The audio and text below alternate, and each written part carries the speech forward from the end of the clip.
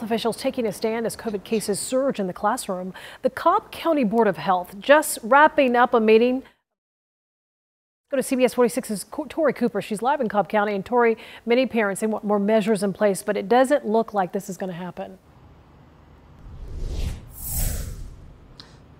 That's right, Sean. As it stands right now, masks will remain optional in the Cobb County School District, but the Cobb County Board of Health made it very clear tonight that they do not support the Cobb County School District's current COVID 19 policy that does not include a mask mandate.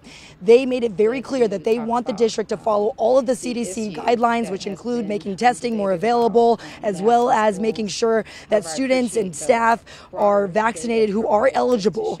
Chairwoman Lisa Cupid and other leaders wanted to call this meeting to make their position well known to the community on this issue in hopes that the Cobb County School District would make a new decision to issue a mask mandate for students K through 12. They highlighted the alarming data in the district as well as the county, but the superintendent, Chris Ragsdale, was not ready to vote on any new mask guidelines for K through 12. He believes that the multi-layered approach is best, but the board was very clear tonight. This current guidance from both national health agencies notes that all policy considerations for school plans should start with the goal of keeping students safe and physically present in school. Number two, all eligible individuals should receive the COVID-19 vaccination. All, number three, all students older than two years of age and all school staff should wear face masks at school unless medical or developmental conditions prohibit the use.